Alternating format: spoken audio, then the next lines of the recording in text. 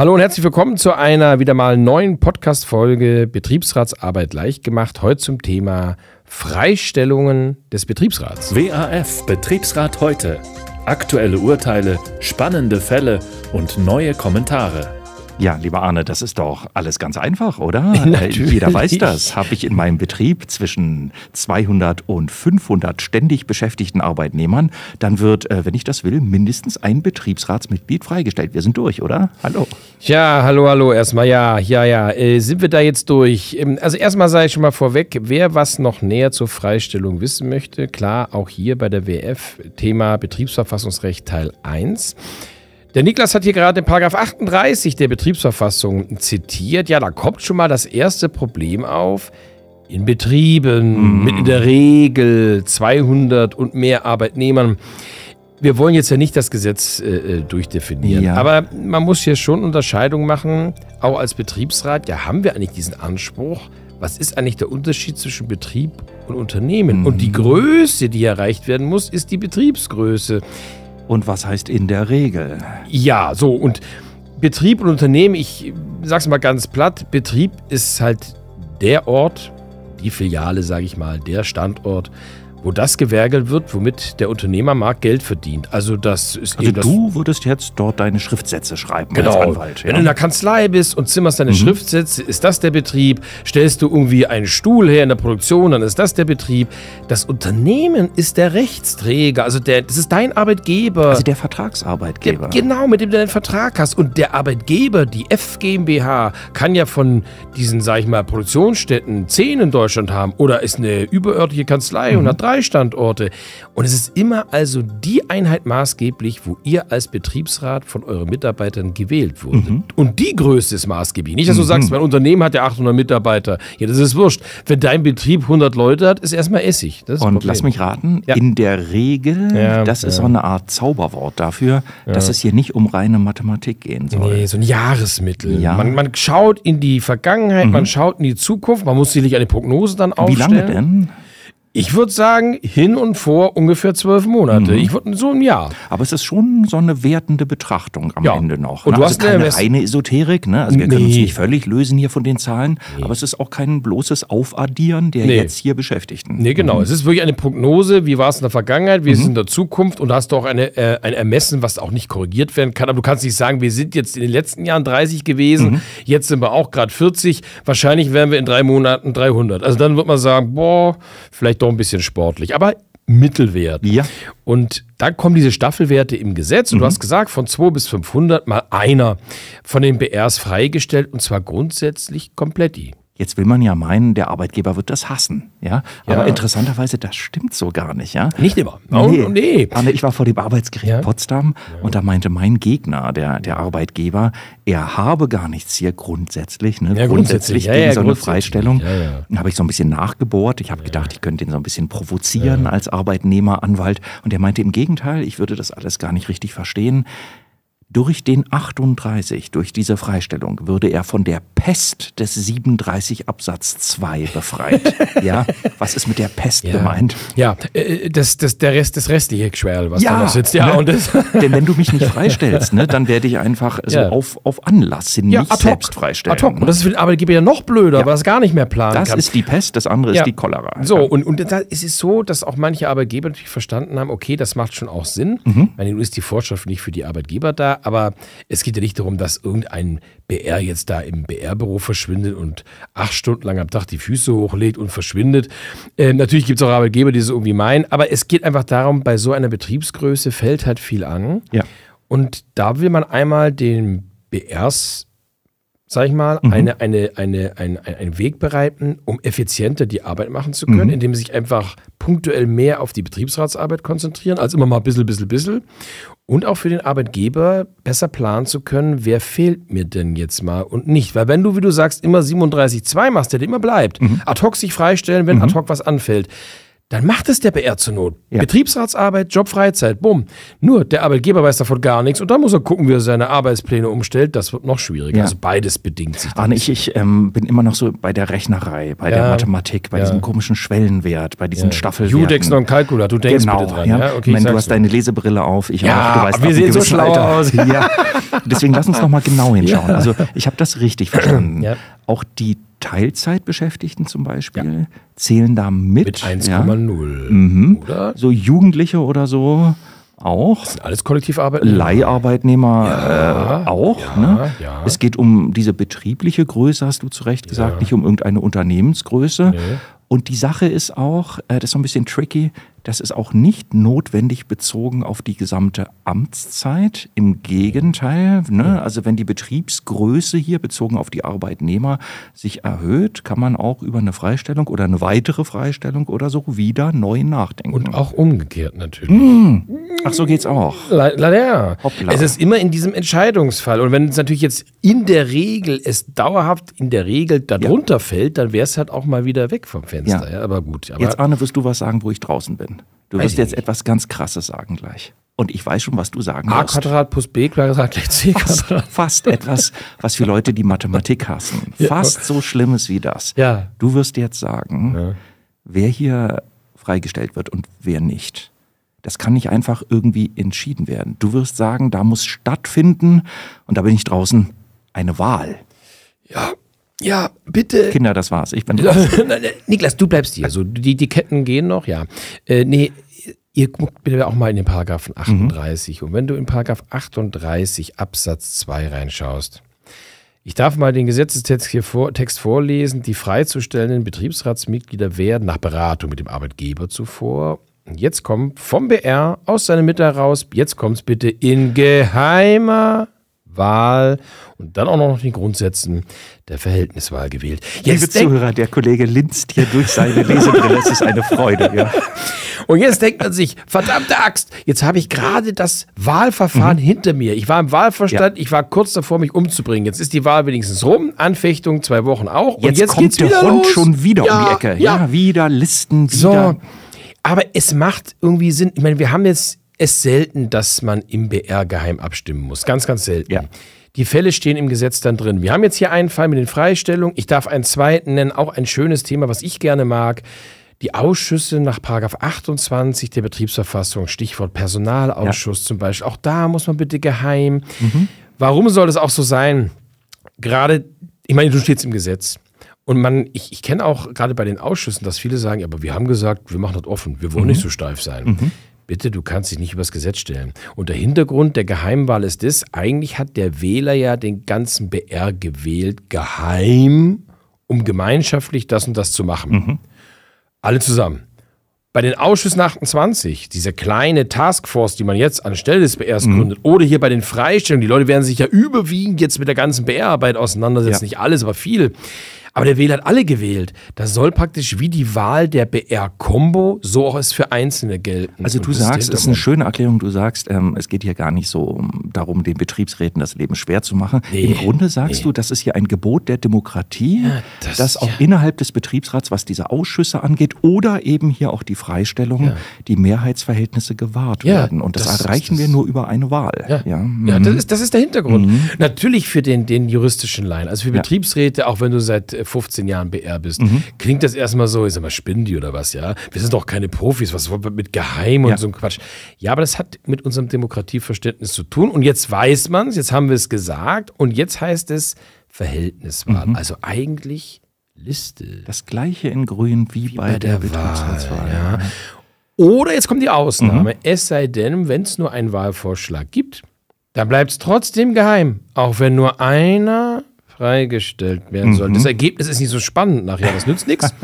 Bloß dann hätten wir praktisch Mehrheitswahl, also dann wählt man halt auch den, die Person und nicht nur diese Liste. Aber da ist wie bei der Wahl eine Parallele, das muss man hier bitte beachten. Aber wäre es denn nicht viel einfacher, wenn der Betriebsratsvorsitzende, der ist ja auch gewählt, ne, der muss ja auch gewählt werden. Aber offen. Ja, das stimmt. Ja, das ist auch der Unterschied. Ja. Dass einfach der zwingend immer, könnte man das nicht so regeln, äh, dass der immer freizustellen ist. Man Das- könnte man es vielleicht so regeln, aber so ist es nicht geregelt. So ist es, so ist es nicht geregelt. Man, Ja. Es ist schon in der Praxis oft so, dass Ja. oft auch BAVs die Freistellung machen, weil wer schreit denn danach, ich mache jetzt zuvörderst nur noch BR. Ja. Das sind ja nun nicht gerade äh, jeder, der im Betriebsrat reingewählt wurde. Und von daher trifft es oft BRVs, Mhm. aber es muss natürlich gar nicht sein. Natürlich gibt es auch natürlich viele Freistellungen, Mhm. Wo eben nicht der BRV dran ist, weil er schon ganz andere Sachen an der Backe hat und sagt, ja, die Freistellung, die auch noch äh, brauche ich nicht. Oder Anna, es langt nicht eine. Okay, habe ich verstanden. Ja. Aber ich bin jetzt mal der, der Arbeitgeber hier. Mhm, Ne? Du weißt, ich bin der Einzige hier im Aufnahmestudio, der eine Krawatte trägt. Ja. Nur aus dieser Rolle heraus. Jawohl. Ja? Ne? Ja, also ja, die. Chefrolle, die steht mir irgendwie zu. Ne? Und ich sage dir jetzt, du bist der. Betriebsratsvorsitzende. Ne? Du, du sagst, ähm, die Freistellung steht mir zu. Es gab hier eine Wahl, lieber Chef. Ich informiere dich darüber. Und ich sage, Arne, ähm, also im Vertrauen, das läuft so nicht. Ja. Ich komme mit jedem freigestellten Betriebsratsmitglied zurecht, aber nicht mit Arne Schrein. Nimm Ja. irgend, das, da sagst du, heul doch. ähm, Ja, genau. genau. Früher gab es doch in, diesem, in den Studios hier der WF noch so ein Schildchen mit Holdoch. Die gibt es jetzt irgendwie auch, aber irgendwie kann man die nicht mehr so lesen. Ja, das hätte ich wahrscheinlich gesagt, Mhm. aber da wäre ich leider äh, falsch gewickelt gewesen. Denn auch der 38 sagt es ja in Absatz 2, nicht nur diese geheime Wahl, sondern nach vorheriger Beratung mit dem Arbeitgeber. Und die ist zwingend. ja. Und das heißt, ich kann dir in der Beratung mal als dein Chef mal so richtig sagen, was ich eigentlich halte, hier von der freizustellenden Person. Im Rahmen der vertrauensvollen Zusammenarbeit kannst Ja. du mir das dann sagen, was du davon hältst. Nur, es ist so, man muss da eine Vereinbarung erstmal Mhm. treffen. Das macht der Gesetzgeber aus einem, finde ich, guten Grund, Mhm. weil du fehlst ja dann. Weil der Gesetzgeber geht ja eigentlich von einer vollen Freistellung auch Ja. Mhm. aus, auch wenn es Teilfreistellungen gibt, das sagt das Gesetz auch. Aber du fehlst ja dann zur Not ganz. Und da soll natürlich der Arbeitgeber, weil die Arbeitskraft komplett fehlt, schon auch noch einen Finger drauf haben, wen kann ich jetzt am leichtesten noch verkraften. Aber es bleibt auch nicht nur bei seiner Meinung. Mhm. Und jetzt hast du gesagt, du spielst den Arbeitgeber. Ich spiele gerne hier den Betriebsrat an. Da würde ich sagen, ja, Herr Chef, also wenn es Ihnen nicht taugt, dass ich da gehe und Sie wollen jemand anders, dann ist ja in Ordnung. Dann machen Sie doch was. Und nicht nur einfach nö sagen, was müsstest du jetzt machen, Niklas? als Sag das nicht, oder? Doch, doch, Ich doch. müsste jetzt auf Knien, nachdem unsere Verhandlungen hier gescheitert sind, vors Arbeitsgericht gehen? Ja, das wäre noch schön. Vor die Einigung? Richtig. Nein, Nein, ich bin tot. Siehste? So, also lass es lieber und mach das, was ich sage. Also, das sagt der 38er, da müsste der Arbeitgeber, um diese Frage zu klären, die Einigungsstelle Okay, anrufen. meine Krawatte ziehe ich aus hier. Ja, und jeder, der hier schon ein bisschen mal Podcasts und Videos äh, gehört hat und gesehen hat, der auf Schulung war, der WF weiß, die Schlichtung ist äh, von den Preisen her natürlich angemessen, aber teuer. Und zeitaufwendig. Und zeitaufwendig. Und um das deswegen zu klären, Mhm. und dann, selbst wenn wir sagen, er wäre bereit, Niklas, ich frage mal, äh, du bist natürlich immer total fix, ist klar. Aber kann man sich jetzt da als Arbeitgeber monatelang Zeit lassen, um mal zu sagen, wir klären das dann bei der Schlichtung, ich muss halt noch ein bisschen überlegen, dann zieht man so in die Länge und nach einem Dreivierteljahr sagt der Arbeitgeber, jetzt gehen wir mal in die Schlichtung. Das ist ausgeschlossen. Oh, ja, es muss unverzüglich geschehen hier, also schnellstmöglich. Es muss gehandelt werden. Und Der zwar Arbeitgeber kann das nicht in die Länge ziehen. Es sind Zwei zwei, Wochen. Nur zwei, Zwei Wochen. Wochen, das ist wahnsinnig kurz. Da steht auch im Gesetz drin. Und wenn er innerhalb von zwei Wochen dann die Schlichtung nicht angerufen hat, dann gilt das, was der BR geheim Mhm. Also es ist völlig falsch, was ich vor dem Arbeitsgericht Potsdam erfahren habe. Der 38 ist auch die Pest aus Arbeitgebersicht. Ja, wenn, wenn man so will, ja.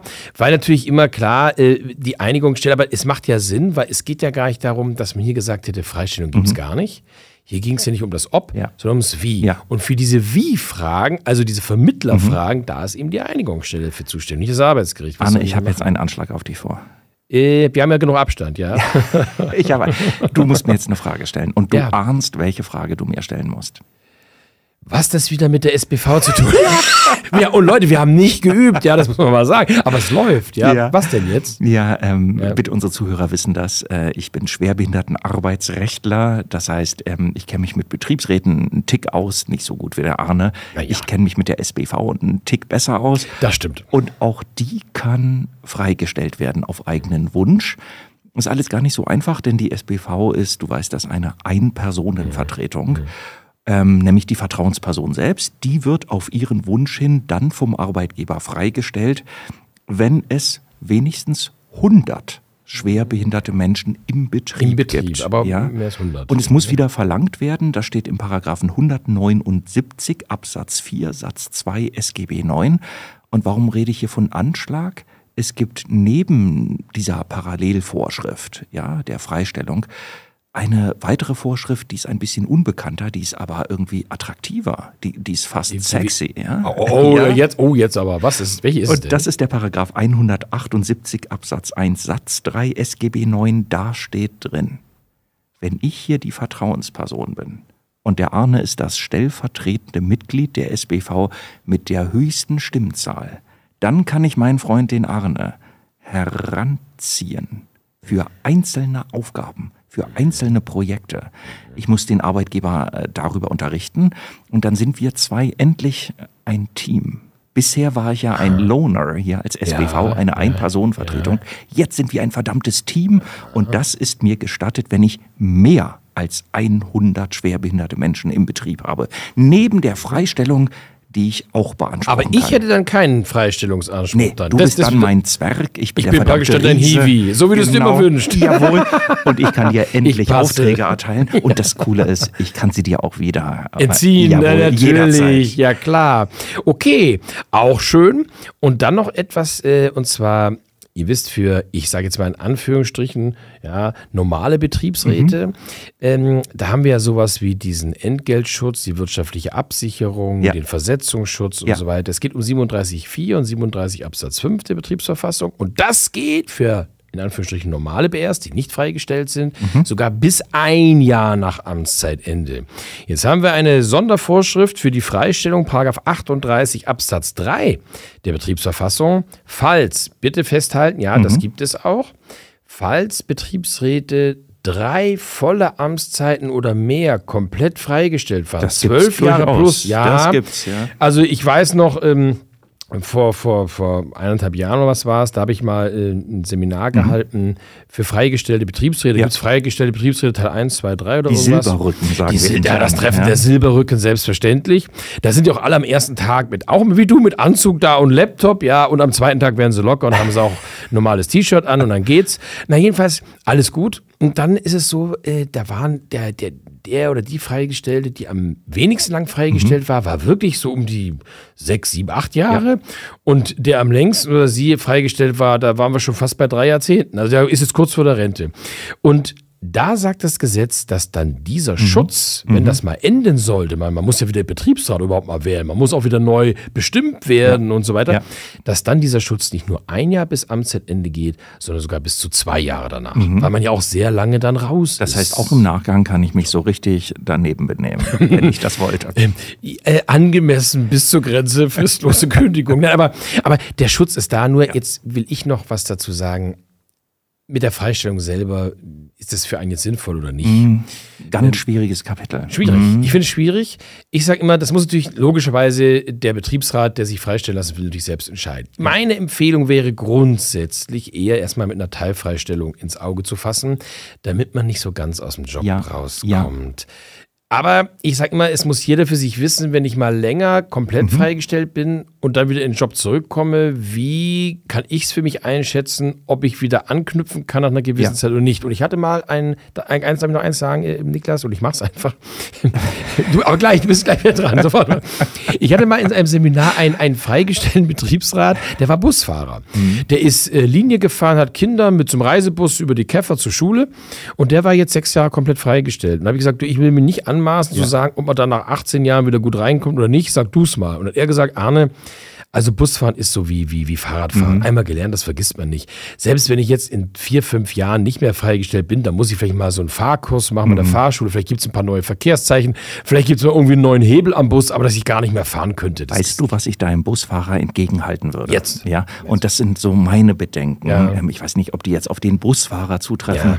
Aber der Arbeitgeber muss mir doch irgendwann, und auch das muss mit berücksichtigt werden, ein Zeugnis erteilen. So, Niklas, jetzt hast du mich. Und Oder? zwar, weil ich bin ja so ein bisschen hier wie der, der BRG-Papst, so wie du der BEM-Papst bist, bist und für die SBV. ich komme selten ohne BRG-Rechtsprechung aus. Und wenn du jetzt das Thema Zeugnis bringst, ja, da gibt es ein Das, BRG-Urteil. das ist unglaublich, das war nicht abgesprochen. Das war nicht abgesprochen. Nein, das, nicht. Nein, das ist doch das Schöne. Ich finde auch, das geht auch ad hoc spontan viel besser.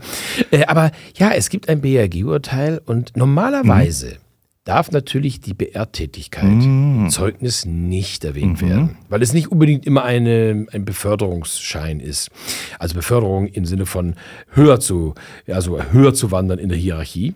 Ähm, aber es gab mal einen Fall, da war ein Mitarbeiter eben Betriebsrat und der war jetzt seit äh, 10, 11 Jahren da.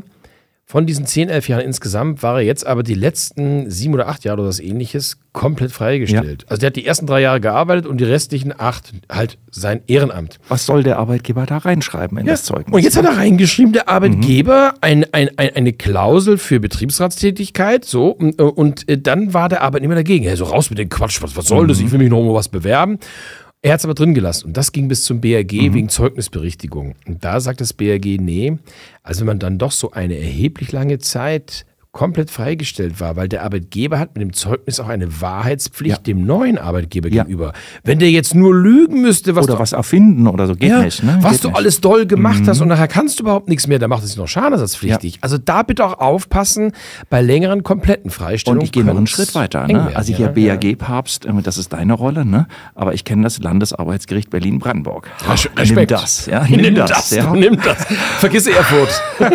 Und ähm, die haben immerhin ausgeurteilt, äh, ist nicht so lange her, dass der Arbeitgeber erstens, wie du sagst, nicht lügen darf, ja, dass das also notfalls dann frei zu bleiben hat. Ähm, aber vor allem auch, und das tut mir so ein Tick leid, dass der Arbeitnehmer kein Recht darauf habe, dass ihm gleichsam zwei Zeugnisse erteilt würden. Ja, eins für die Deutsche Bank, wo du dich äh, bewerben willst ohne Betriebsratsbemerkung äh, geht- und ja. eins für die WRF, wo der Betriebsrat äh, drin zu stehen habe. Das geht nicht. Entscheide dich. Das ist der mir bis dahin unbekannt gewesene ähm, Grundsatz der Zeugniseinheitlichkeit. Das heißt, ähm, diese Freistellung ist eine tolle Sache, ist wirklich eine tolle Sache, aber sie hat doch auch ein paar Haken und Ja, Ösen. muss man da schon aufpassen. Genau, also Zeugnis und nicht zu arg aus dem Job rauskommen. Aber sonst ist es schön. Und ich will es jetzt gar nicht am Schluss noch da jetzt irgendwie, ich will das wirklich nicht ins Lächerliche ziehen, aber ich habe schon auch ein paar Mandanten und das ist auch alles legitim, die nehmen das so ein bisschen, wenn man sich auch komplett freistellt, manchmal so ein bisschen als ein spezielles Altersteilzeitprogramm. Ja. Die sind jetzt, sage ich mal, in der Produktion gewesen, waren Betriebsrat. Nein, nein, ich finde alles gut. Waren Betriebsrat, haben immer ihren Job gemacht, schwer gearbeitet, äh, dann die Seminare besucht und sich für die Arbeitnehmerschaft eingesetzt. Und man hat auch gesehen, der Mitarbeiter, der, der kann da auch arbeiten. Das muss er nicht nochmal jetzt zehn Jahre beweisen. Und vielleicht in den letzten fünf, sechs, sieben Jahren, bevor es dann in die Rente geht, sagt man sich, Mensch, ich möchte mich nochmal für die Arbeitnehmer einsetzen. Ich habe so viel Lebenserfahrung, Berufserfahrung, auch die Erfahrung im BR-Amt. Das möchte ich jetzt noch mehr einbringen, als immer nur so zwischen Tür und Angel. Ich klinge mich da aus, wenn es geht. Ich setze mich jetzt für die Arbeitnehmerinteressen ein und meinen Job, den kann jetzt wirklich gelinde irgendjemand anders machen. Das brauche ich niemandem zu zeigen, Ja. dass ich es kann. Und das finde ich auch legitim für die, die es möchten. Für Ja. die, die es möchten, finde ich das legitim. Ja, absolut legitim. Umgekehrt als Arbeitgeber, wenn ich wieder die Krawatte anhab, ne, Ja. dann, dann gäbe es schon noch eine Gefahr, die auch berücksichtigt werden muss. Ich könnte schnell sagen, weißt du, Arne, du bist hier der Freigestellte. Mhm. Ja, das habe ich jetzt irgendwie geschluckt, ja. Aber jetzt rede ich auch hier wirklich nur noch, das ist auch eine tatsächliche Gefahr, wirklich nur noch mit dir. Und dass der Niklas hier auch im Betriebsrat sitzt, ne? Und ja auch für das, das Gremium etwas vorzubereiten und äh, zu bearbeiten hat, das interessiert mich dann nicht mehr. Wir haben ja diese eine freigestellte Person. Und darauf darf sich der Betriebsrat natürlich nicht Natürlich einlassen. nicht, ja? natürlich nicht. Es ist wirklich, nehmt wirklich der 38er, Ja. sagt lediglich, ihr habt jetzt von mir aus eure, was weiß denn ich, 9er, 11er, 13er Kombo und so weiter.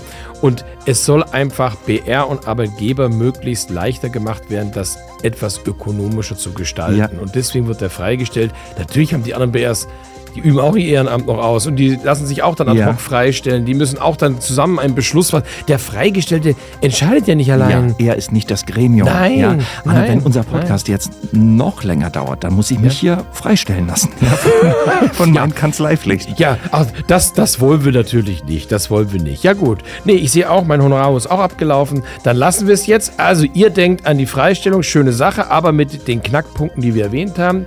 Ihr denkt auch noch an die Seminare Betriebsverfassung Teil 1, wo das auch mal in der Freistellung noch ein bisschen besser behandelt wird und ausführlicher. Ja, und dann würde ich sagen, äh, dann lassen wir es für heute, oder? Und wir machen hier wieder mal die Heizung an, oder? Also, macht's gut da draußen. Tschüss. Ciao.